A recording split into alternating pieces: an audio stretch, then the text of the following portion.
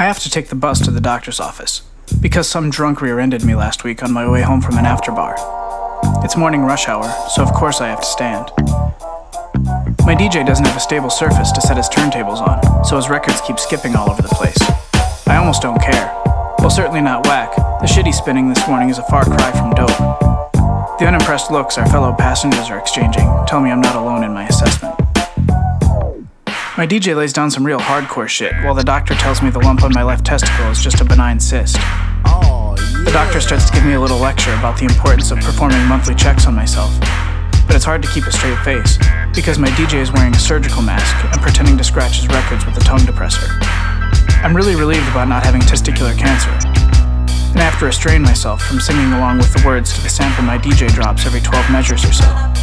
The doctor gives me a little plastic card to hang in my shower that shows me how to check for lumps. Motherfucker say what? I mouth to the beat. My DJ encourages the doctor to throw his hands up, but the doctor declines. At the auto body shop, my DJ goes crazy with the crossfades. Yeah. The Civic's entire rear bumper is going to have to be replaced, not to mention the left taillight.